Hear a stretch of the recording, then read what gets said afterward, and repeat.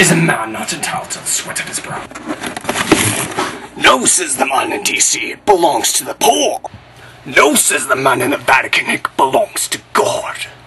No, says the man in Moscow, it belongs to everyone. Well, I rejected all those ideas.